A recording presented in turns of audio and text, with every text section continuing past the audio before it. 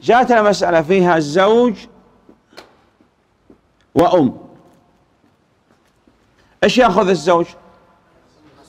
النصف. الأم إيش تأخذ؟ الثلث. طيب. من ستة. نعم. جاءتنا مسألة فيها أم وأخت شقيقة الأم هنا إيش تأخذ؟ الأم إيش تأخذ؟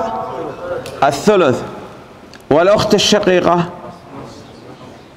النصف المسألة من كم؟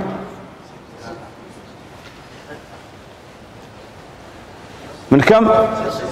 ستة الثلث اثنين والنصف ثلاثة المجموع تضع خط هكذا وتكتب خمسة مثل درس أمس. هناك كانت تزيد هنا. نعم.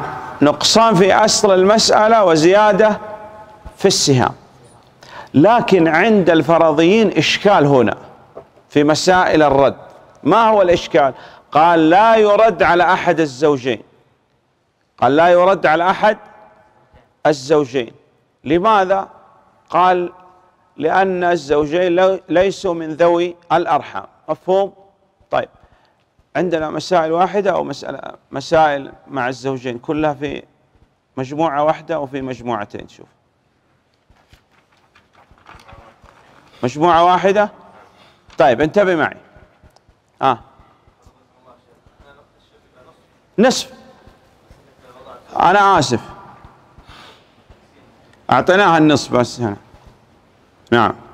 يعني ما تسمح لي بالخطأ يا شيخ صالح ما في مشكلة. ها؟ ستة لأن الثلث والنصف من ستة.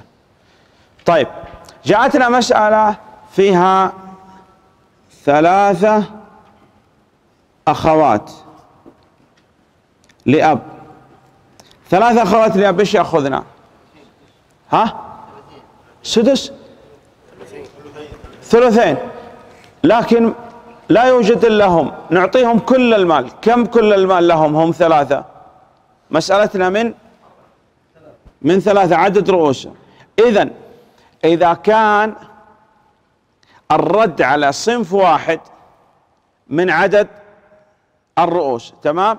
إذا كان الرد على أكثر من صنف نعطي كل ذي فرض تعطيه فرضه. مفهوم؟ وتجمع. هذا إيش؟ النوع الأول. النوع الثاني قال إذا كان يوجد أحد الزوجين أحد الزوجين مع صنف واحد. عندنا مثل هذه المسألة. الزوج يأخذ النصف الأم تأخذ المفروض الثلث وإيش؟ والباقي. يعني ممكن تكتب المسألة هكذا ستة ثلاثة. الثلث كم؟ اثنين. بقي معنا كم؟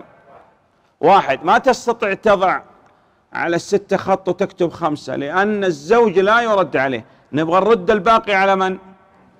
على الأم نقول اثنين زايد واحد يساوي كم؟ ثلاثة. وتختصر المسألة كما قلت لكم. من اثنين واحد والباقي واحد. كأن الأم أخذت كم؟ النصف. مرة أخرى أعيد. إذا كان الرد على صنف واحد يكون الرد من عدد الرؤوس أصل المسألة من عدد الرؤوس. إذا أكثر أكثر من صنف تجمع مثل ما صنعنا في مسائل العول صح؟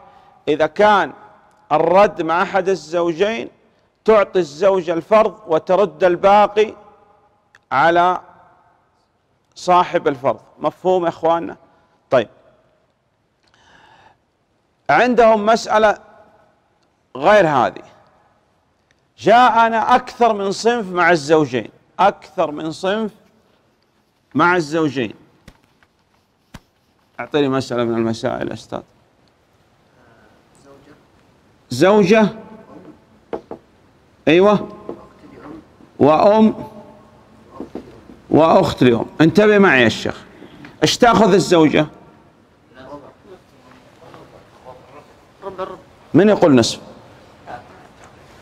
ها؟ الربع. والأم؟ الإيش؟ الثلث. والأخت لأم؟ مسألة من اثنى عشر. الربع ثلاثة. والثلث أربعة والسدس؟ اجمع. تسعة. إذا هذه المسألة فيها فيها رد. ماذا أصنع؟ قال إذا اكتشفت أن المسألة فيها رد تصنع مسألتين. مسألة للزوجة ومسألة للورثة. يعني رأيتم الآن أنا حللت المسألة وجدت أنه فيها رد. ماذا أصنع؟ أصنع مسألة للزوجة. الزوجة إيش لها؟ الربع. مسألتها من أربعة. واحد وتكتب هنا الباقي ثلاثة. بعدين تصنع مسألة خاصة لأصحاب الرد. مسألة هنا مسألة الأم فيها ثلث وسدس من كم تكون؟ ستة. الثلث اثنين والسدس واحد. المجموع ثلاثة. انتبه معي ترى حل هذا سهل إن شاء الله ليس في إشكال لكن ركز قليل. إذا وضعنا مسألة الزوجة على حدة والورثة على حدة.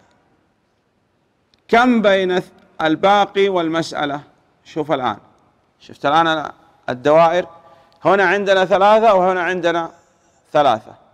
طيب ثلاثة قسمة ثلاثة. واحد تضع هنا فوق الثلاثة. وثلاثة قسمة ثلاثة واحد تضع هنا فوق الأربعة. واحد في أربعة دائما تضرب اللي على اليمين. واحد في أربعة أربعة. واحد في واحد اثنين في واحد واحد في واحد واحد. اجمع. أربعة. الزوجة أخذت الربع بالضبط. لأنه قلنا ما يرد على أحد الزوجين. لكن الأم أخذت هنا إيش؟ النصف. لأنه رد الباقي عليها وعلى الأخت لأم. غير مفهومة هذه ها؟ أعيدها ما في مشكلة. أعيد مرة أخرى. أعطينا مسألة. ها؟ زوج؟ وأم؟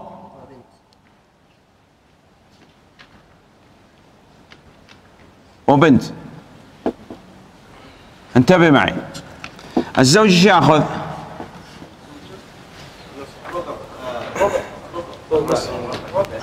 الربع. والأم؟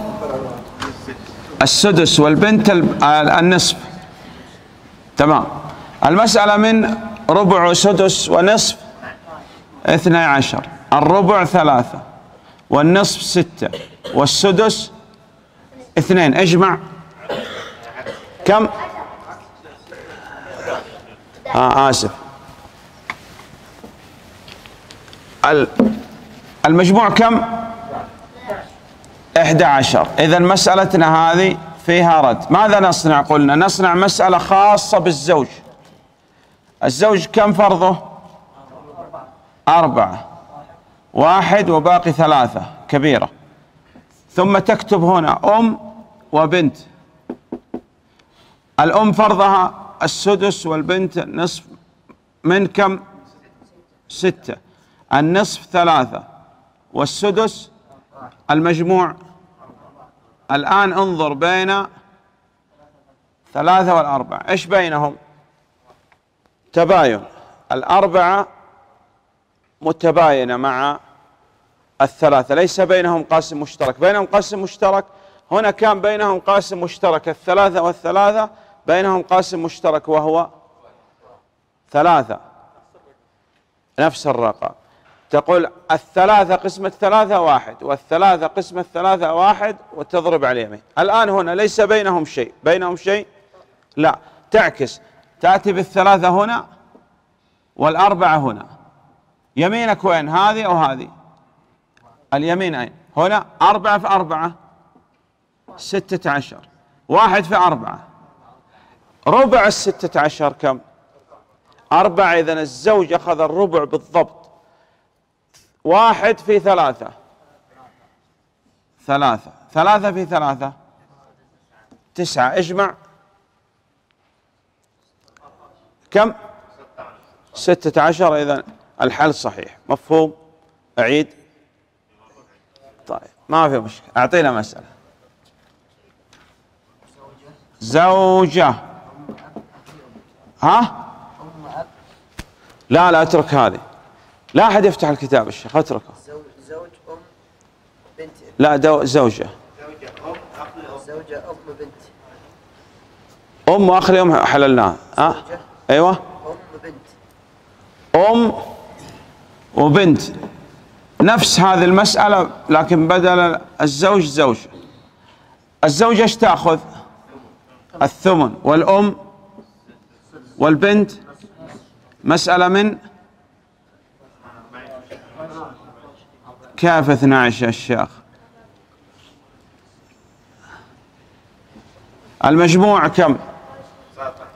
ها؟ تسعة عشر. إذا فيها رد. إذا لازم نصنع مسألتين. مسألة الزوجة من كم تكون؟ من ثمانية. تأخذ الثمن واحد والباقي سبعة بينهم. أم وبنت من كم المسألة؟ من ستة. الأم واحد والبنت ثلاثة. المجموع؟ أربعة. عندنا هنا أربعة وهنا كم؟